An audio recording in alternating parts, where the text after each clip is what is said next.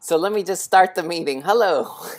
Hello. it's, it's the weekly Hello. weekly platform meeting. It looks like uh, we're gonna have a fairly quick meeting. Not very many people here, so let's get started. Uh, let's see things on the list right now. Kadir to look into how people rate related articles after clicking through. So what did you Yes. what did you find out, Kadir? It's too bad that so few people are actually in this meeting today because there is so uh, much interesting information here. Um, so the first thing is actually uh, there is very little difference between uh, people uh, clicking on uh, uh, ju- just voting and people who vote after clicking on a related article. It's 66% to 69%. Um, so that tells me that people find um, deleted articles actually helpful. Uh, at least we can infer that from how they're voting on the on the side.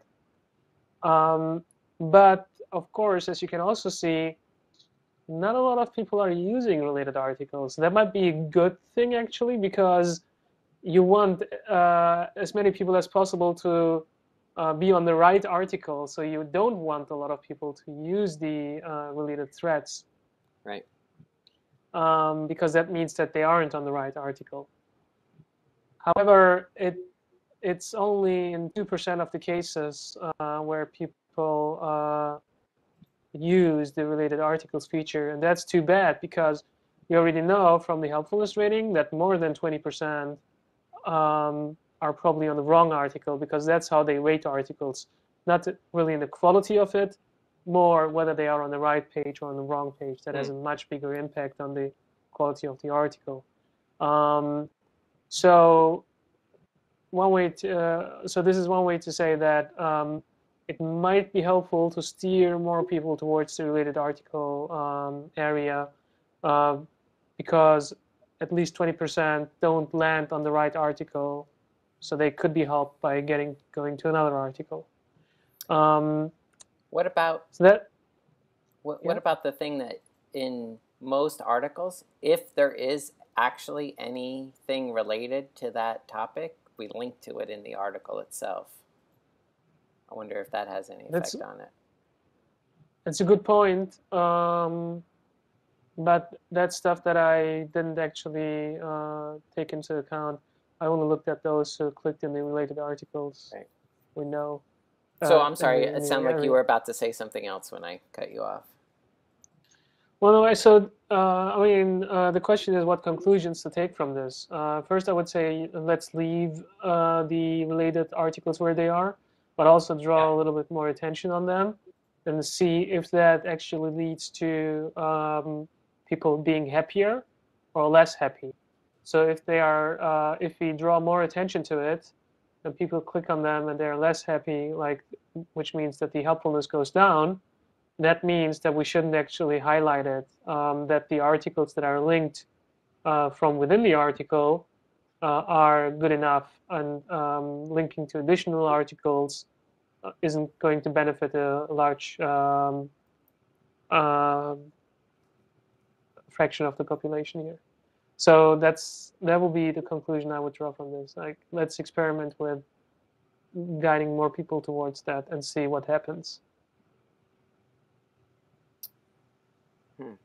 What about, I mean, yeah, to me it feels like there's a lot of things that you could that you could try. Like for instance, what about um I mean, yeah, what if instead of having the related articles even there, you know, what if that stuff was gone and then you could easily navigate uh, back to the topics that you were navigating through? Would that be Well, that better? only How would we know? Right. That's all stuff. To, actually, that's I think that's a great thing to test. Uh, removing the uh, related articles and then see if that leads to more people um, voting articles helpful. But of course, um, like, like going back to the topics uh, is only something that you can do if you came from a topic. Um, like if if like uh, the majority of our users you come from either in product links or uh, Google, then there is no topic to go back to.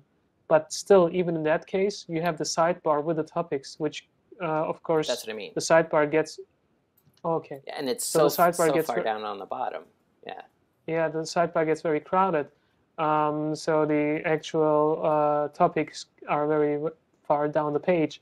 So removing related articles and related, and that's the next thing, related threads, might actually lead to more people finding the right article. Um, of course, that is A/B testing.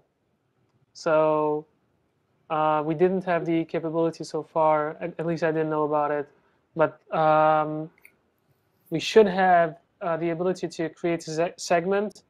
Uh, let's say those who didn't see the related articles, and then look at the ratio of helpful votes just for them.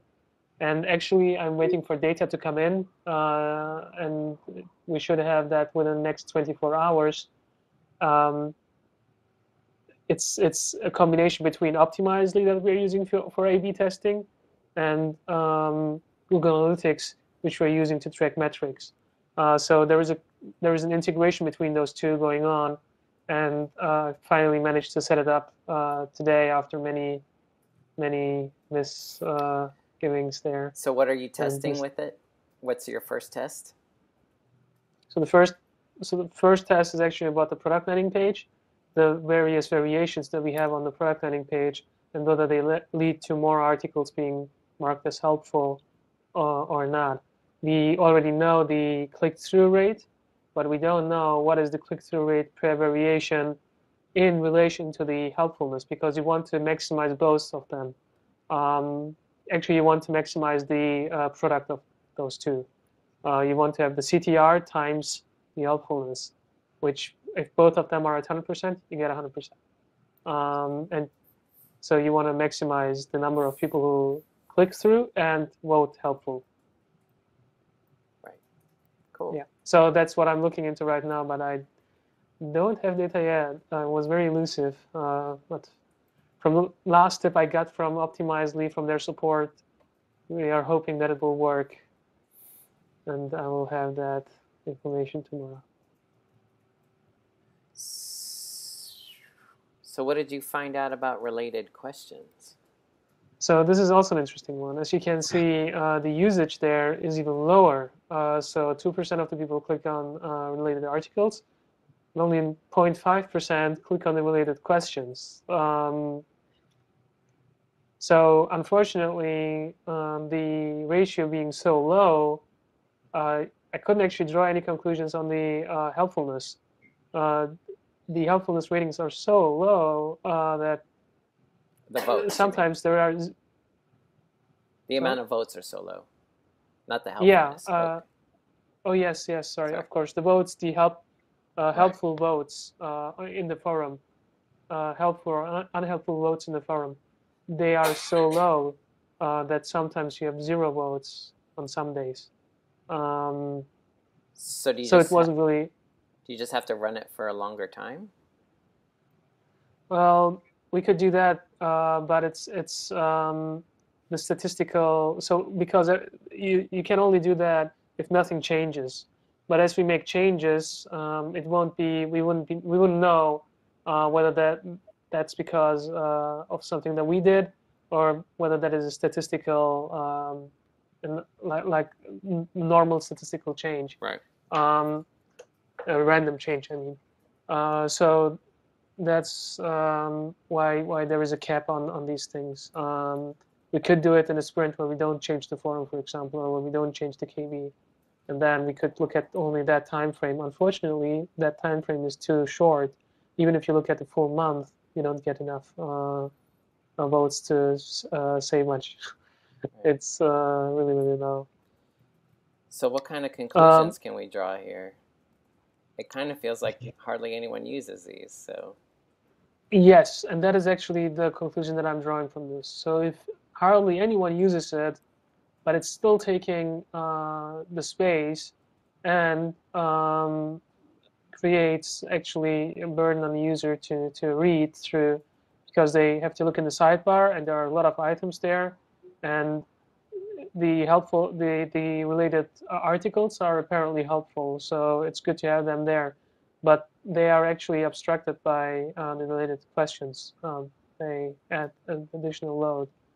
Um, so this was an experiment, uh, seeing like uh, whether it would be an improvement or not. Unfortunately, we can't tell. But also because the helpfulness rating in the forums are generally really low, uh, like lower than 50%. Right. Um, so the question is whether um, even if you had uh, 20, 30% helpfulness rating, like that means that more than half of the people who click on the threads, they don't actually find it helpful. Um, yeah. So my conclusion is that I would remove uh, the uh, threads and see if that changes anything on the side.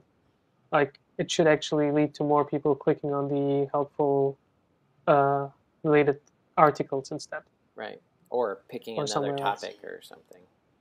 Or Right. 'cause So these are only clutter, different click These patterns. are only then helpful if otherwise people would uh, drop out. Like if it meant that if you don't have that, then people are dropping off. Right. That's a reason to have them there. Um, so because there is still a chance that the art that the question might help them, even if it is low, there is at least a chance. Some but if chance. they drop off, there is no chance at all. Um, so that that's one thing to test uh, uh, to further test. Like if you don't have them, do people uh, uh, drop off or do they um, do something else? And that's actually uh, something that we can test with Optimizely. So we should test. Uh, I'm Yeah. trying to figure this out. Re. Uh,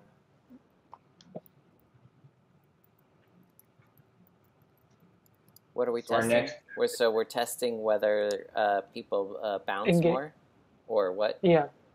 Engage. Well, it's called engagement. Okay. Uh, but yeah. If engagement decreases when we remove related questions. Engagement is the Google Analytics term, correct? In other words, if they bounce away from the site. I think Google Analytics uh, uses bouncing, um, but uh, engagement is the lingo on Optimizely. Yeah. Okay. but it may it almost means the same thing. So bounce in Google terms is when people see only this one page and then nothing else. Um, that's a bounce. We don't- Uh, and some and engagement is uh, whether they did anything on this page, regardless of whether they have seen other pages on Sumo.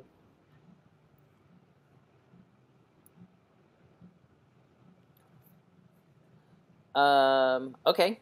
Anything? And so, and we said about uh, related questions, uh, Related articles, related articles. So this seems good, right? This is these seem helpful at least. Yeah, but we still want to test um, what would happen if we remove the related articles and see if that leads to more helpful votes from people who then click on the uh, topics and browse Uh, uh, the topic. all right. So.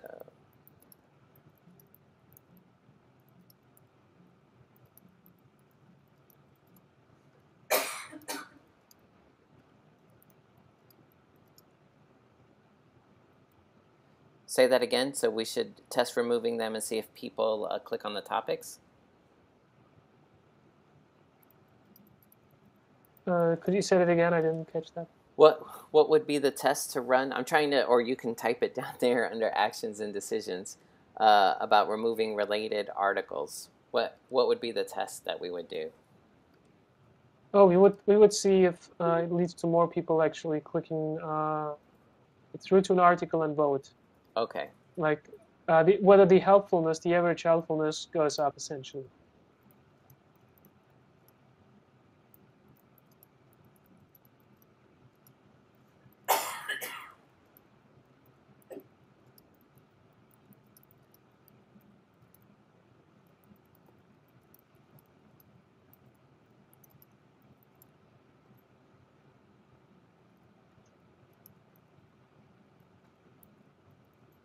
okay, all right.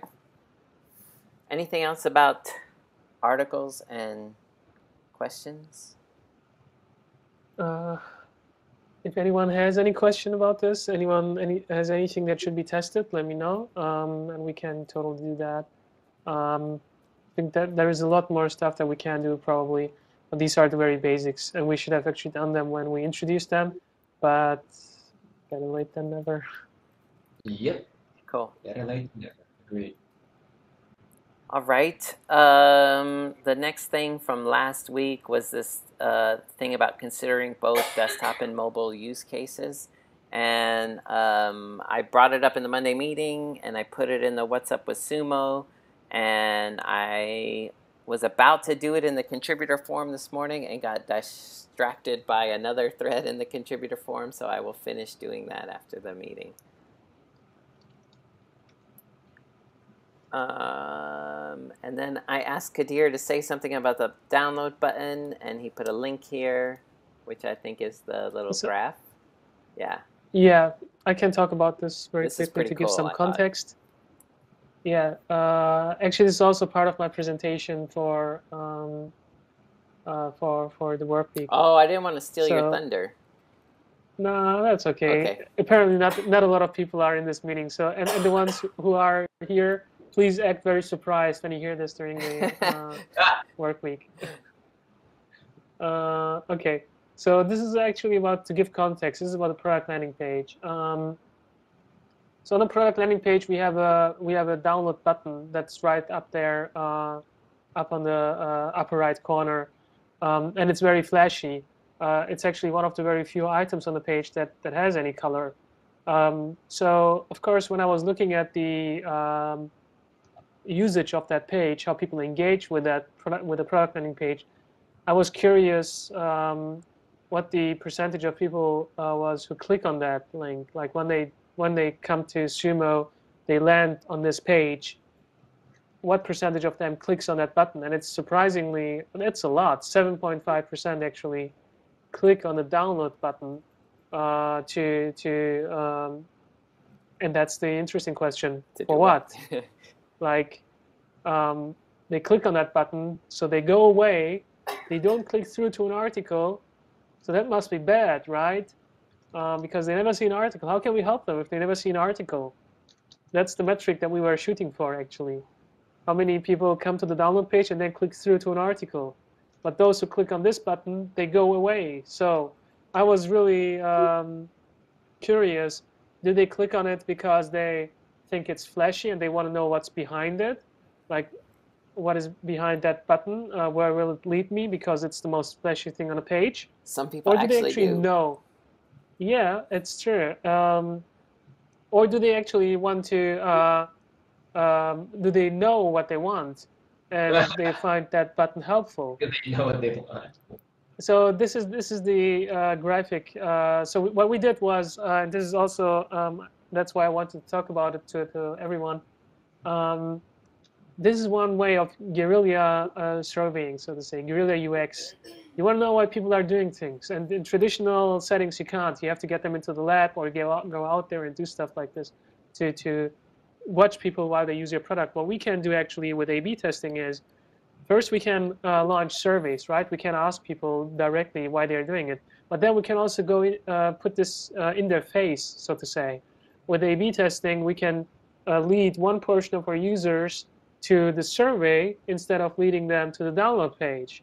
So we can ask them to please complete the survey before downloading it. I mean, we will uh, give them the download button and the download page anyway, even if they say no. Um, but this is a very easy, very quick way to figure out why people are doing things on the side. So I did just that. I gave people a survey when they clicked on the download button, and the results were more than surprising. Um, so it turns out actually users know what they want when they click on that button.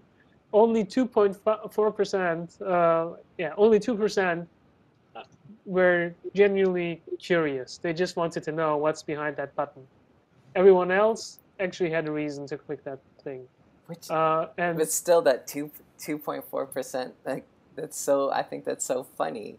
Like it's a download button. What would you, what would you think would happen? Like that. I'm I don't so know. I'm so curious to find out to find out th- was that what they expected or did or was this unexpected? Absolutely, but but I also should actually uh, put a disclaimer on this because any survey that you do on the web, uh, the best practice is to assume that there is an error rate of 2%. Oh, Uh, so because you don't give that to them in person, they don't necessarily take the time. Like if you would uh, be doing a survey where you actually have people in a room, um, they might not actually make that mistake. So the it could be that it is zero percent. But the generally accepted error rate uh, for surveys on the web is about two percent. Still, um, it's interesting. Why would they click it? Well, anyway, it's it's a very small percentage of already uh, only 7.5%. So this is 2% of 7.5% to come on the site and then uh, click on the download button and don't know why. So it's actually, uh, um, yeah, there are more important portions. Like, for example, that big red portion there, which is 52%, who say that they actually want to update Firefox. So which makes sense. Um, there is a new version of Firefox, you want to have it, you want to update, you go to the support page or the download page or whatever, and you download Firefox. However, the surprising thing is that most people, almost all of the people who say that they want to down update Firefox, they are already on the latest version. Uh, so there is not much of a reason for them to update. But of course, unclear it's hard them for them. they have, or maybe they figure it will solve the problem that they're having by That's- re-updating, re-updating. Well, that is another, uh, yeah. Of course, you would have to ask them to know that. You would you would have to ask them a follow-up survey. You have to give them a follow-up survey uh, where you can ask them why do you want to update Firefox, and then you would get uh, answers related to that. But here we just want to know why they are downloading Firefox, and in over 50% of the cases, they want to download it because they want to update their version. So 16% say they don't have Firefox on their computer, which is surprising because most people who come to this page actually come from the in product link. Um, so they might be confused. Who knows? Uh, but 50% say they want to update Firefox. Um, and what we can do, of course, for them is like they don't need to update Firefox. They already have the latest version. So we can tell them maybe on the button, uh, congratulations, you have the latest Firefox version and no need to click through. Please don't download the new version. You already have it. Won't change anything. Um, so yeah, and for and this is also surprising. 23% of them would download Firefox from here, they actually want to fix a problem, and they have this mental model that um, if you install Firefox again on top of Firefox, it will solve the problem. But of course, we know it probably won't because it will use the old uh, profile. And that's, in most cases, what you want to get rid of. Um, so, Michael, you want to talk about what we could do in that case? Yeah, I mean the the big thing is I think we probably have to get them to do to run this test like on Mozilla.org and confirm that it's it's that kind of or it's significant there. I can't. I personally don't imagine that that it's not significant. I think it could be uh, um, there could be at least as many people, or percentage wise, which is way more people then come to the support site and click the download button. Um, but just on our site alone, that's a million people a year saying they're trying to fix Firefox by downloading a new copy. Um, so hopefully, this is this is good information for getting the reset on reinstall use case built.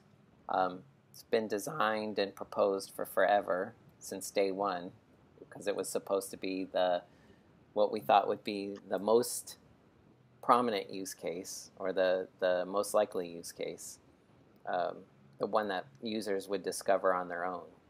Um, we would say so. Hopefully, we can maybe get that done one of these darn days.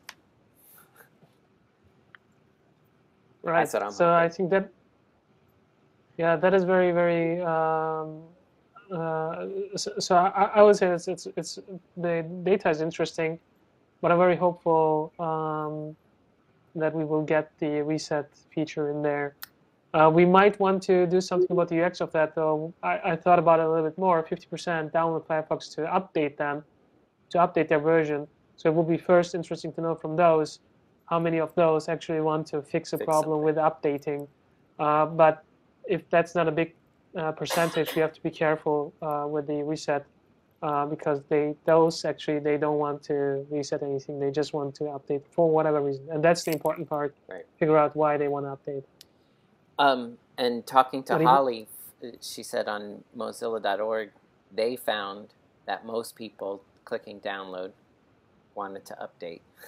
also, um, I don't know if they found anything. I, I didn't get details about what they asked and, and what answers they got, but they noticed this behavior of people trying to update Firefox by downloading it again as a as like the biggest use case, and um, and they're talking about doing the thing that you were talking about, Kadir, making the download button in some way smarter to let you know you're already updated. Uh, hopefully they will do that. Then we can just steal it. Yeah. Uh, we won't have to do that on our end, like we did with the current download button. Yeah. All the logic is from uh, support, uh, Mozilla.org. Um, so what we can also do, if they are not going to do it, we can do a follow-up survey uh, for those. So say I want to update Firefox and ask them, why would you like to do that? Um, and we can give them a number of options, like uh, multiple choice options and um, it should be a fairly quick survey and it will give us probably a good insight into what's going on with those people because i can imagine that right now nobody really knows why people are updating their browser because that's not really a fun thing to do you don't wake up and say today i'm going to update my browser I would like to do That that. like we fun. should do that. I, I'll I help you if you need help coming up with the questions Well, or whatever. that's the thing uh, the question is easy like why are you updating but uh, the potential answers that's the important part you don't want people to type stuff in Right. so you want to give them the buckets that um, so in this case uh, the other the other percentage uh, it's all free form text but i didn't read it don't have the time for that um, but as long as it's small it doesn't matter uh, there will always be uh, um, like, because we only had uh, five buckets uh, four buckets, there will always be more reasons. Um, but you want to keep those other uh, that other bucket small. So you have to come up with good uh, um, choices for why they might be doing this. Um, yeah.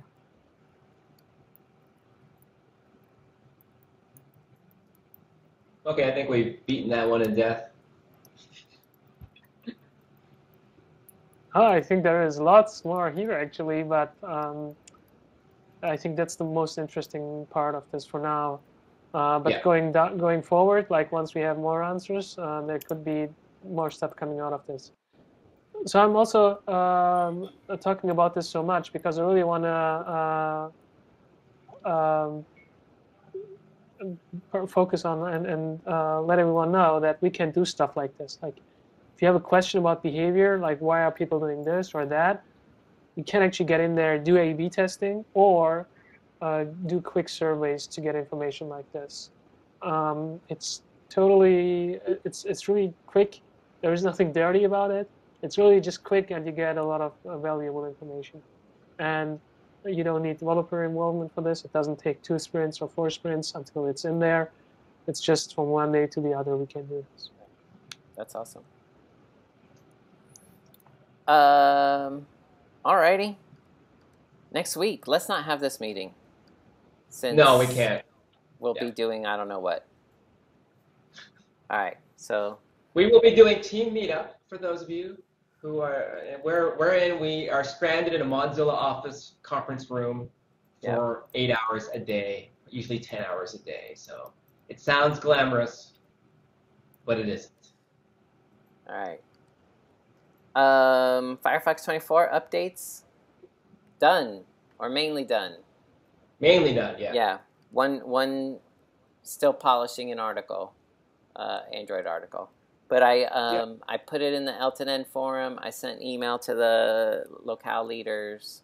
Um, I people already jumped on some of them, uh, and luckily it's not a giant list like last time. In fact, the biggest updates, the biggest changes are like deleting large sections of articles. So easy stuff. Getting rid of getting rid of things. Um, anything else, Roland? Do you want to re-ask your question about about graphs? About oh, okay. Let me see if I can be brief and concise, and hopefully Kadir can be brief and concise as well, since this meeting is running late. I believe. Oh, we have officially uh, got Google Analytics for support.mozilla.org. This means uh, that for every web page on Sumo, KB, and Forum, we can uh, create real-time graphs of whatever data Google Analytics can capture. That creation of graphs for now is limited to employees, but the graphs themselves are publicly visible. Is that correct, Kadir? Yes, that is correct. And uh, regarding the kind of information that you can get, it's stuff like uh, top articles uh, visited in Spain or in Spanish, and um, yeah, any information that Google Analytics can give us. Or it could be something like, to use a KB example, sorry, a forum example, it could be like the most, the top five threads with the most traffic in Yeah. a certain period. Um, is there a lag in the data? Like you said, real time. Is there a lag? So it's Uh, five minutes delayed, an hour delayed, 24 hours delayed? I'm not, sorry, I should have asked that question before. But. So if you, if you want to have static data, static data is data that uh, when you care about a certain time frame, um, then you get the information right away. Right. Um, of course, there is also stuff that you want to update on a continuous basis, like um, something where you show the last 30 days, or uh, you want to show everything since the beginning until today, um, and it, it needs to have. That's what I mean with live updated. Um, like I- you can do charts that get uh, in uh, new data continuously and will be added to the chart. And that happens uh, once a day. So once a day, the Google Analytics chart is updated with the latest data. Um, but of course, you can always do it ad hoc. Like if you want to have information about anything, you, you get the data that is on Google Analytics. It's it queries Google Analytics. So it's delayed by 24 hours? Is that what you're saying? If you're like your real time? For, sort for continuous, uh, yeah. Uh, the the live updated stuff is uh, uh, updated once a day. Perfect. We can make it update more often, but usually there is not much of a reason to do that. But if you create something right now, it'll give you the latest data it has, Yeah. Yeah. which may be a few hours old. Well, it's as old as Google Analytics is. Oh, right. Like it's live data, so it is the same data that Google Analytics has at that point. Okay. So getting back to the employees only for now, can vouched Mozillians do this, or will they eventually be able to do this? That's what I actually don't know. I haven't tested that yet. I would like to look into that to see if that this is just for um, uh, just for uh, people with a Mozilla account, because you have to be uh, to create a sheet, or you have to be uh, authorized uh, for Google Analytics, and that is for Mozilla employees only. But once the sheet is created, it might be possible to actually use it uh, without authorization from. Um, uh, well, without authorization for Google Analytics. So I will have to look into that, and I can give you feedback uh, once I Yeah. tested that. That would be great because I know there are Mozillians who are totally interested in, in creating reports for us, and it would be great to get them to do this. Like, come up with an Etherpad and say, hey, can you do this? Or they could come up with their own Etherpads and they could implement themselves. Um, so, yeah, I mean, it's early days. We just got this capability, right? So we're still sort of kicking the tires, right? But it's Right. fantastic. We didn't have anything like this before. Before we had to go through this tortuous SQL process of downloading the data to a separate server, finding a server, keeping that server up. Now it's all automatically handled by Google. Thank you, Google. I mean, isn't the big the big thing is um, um, rather right than going through all that work? Um, it's maybe not so much that um, a contributor can create these because they still would need LDAP access to Google Analytics or whatever, but it's that we you can Kadir can set he's he's now he can do these things like super fast, uh, super fast, but you know, it's it's not it's Right. not rocket science, and he can like plug Google Analytics into a into a spreadsheet, which then we can make public. We can't make any of the Google Analytics public. Um, Right. Uh, so So we this- could do a lot more public reporting. Now. yeah, Well, th- Yes. it's that, but it's also that on uh, the spreadsheets we can do actually calculations, and you can't compute stuff right. on Google Analytics. Uh, so before you would have to download the data, use Excel or Google Spreadsheet uh, to calculate that, and you would have to copy, copy paste new data as you got it, like once a week. You would you would have to get new data in there to compute it on a spreadsheet.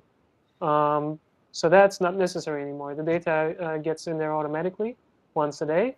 It gets all the new data, it computes it, and it creates a graph based on that. That's awesome. So. So, So it's um, essentially give me an doing what the dashboards were doing before. What I will do is, from an Android point of view, I will create a uh, Etherpad with our in our standard Sumo format. You know, I as a Google as an Android support coordinator would like to see this report for this values, and then I will do this on a public Etherpad. Work with Kadir. And that will be a sort of a working example so other people can take it for desktop and Firefox OS. Or you can do your own. You don't have to wait for me, but I'm just saying, if you give me an action item, then we'll do something that other people can learn from. Right. Does that sound good? Give me an action item to do some report for Android. It'll probably be Android KB that I'll be doing a report for. Uh, a real-time graph for. Well, 24-hour delay real-time graph. Right, and we can always use this um, as, as prototyping for an actual uh, Sumo dashboard. Like if it's important enough, it should be part of our platform. Yeah. Um, but we can use this to prototype and see if data is actually interesting to us, whether we need it long term, and stuff like that. Yeah, so I will create an Etherpad with the scenario use, use case, and then uh, work with uh, Kadir and publicize that so other people, uh, contributors and employees can can learn from that and do their own reports. So yeah, I think this is great. We prototype on this, or we get some ideas on this, and then if, if we need to, we make it part of real Kitsune dashboard. Very cool. All right. Anything else? Rosana, do you have anything? Uh, no, I'm actually trying to prepare some um, um, presentations on uh, localization, and we're working on the localization tools. And now we have an aggregated dashboard, which is still giving some errors. That's why I didn't present it today. Um, I saw that but this yes, morning. Yeah. It's there's some errors, so that's why I think that we should wait. On yeah, no, I'm just working on some documentation about it so that we can, you know, post it on the blog. Cool. Yep. Yeah, there's a bunch of those things that are getting done that we should probably. Yeah, Do yeah, one I'm big I'm doing it right now. Awesome. Okay, Mhm. great. So I, my plan is to do a, a blog post, which is the thing that will get out of the door, uh, you know, more quickly, and then I will turn that into documentation, so we have that also in the knowledge base. Awesome. Cool. Yeah. So the idea is to have a, a, a like a how to be a local leader sort of article. Yes. Nice. How to be an awesome locale leader. Yeah, or yeah. I'll to use the word So- awesome. You don't want to just be a regular one. It's- it's- You can just be yeah, That's- you're that's kind of the local chumps. leader, right? You got to be an awesome one. Yeah, exactly. cool. Yeah, so that's what I'm working on. Stay tuned. All right. That's it for my side. All right. I think that sounds like a meeting, unless there's any last things. See you in two weeks. All right. Bye. Ciao, cheers. Bye, guys. Have a great Bye. week.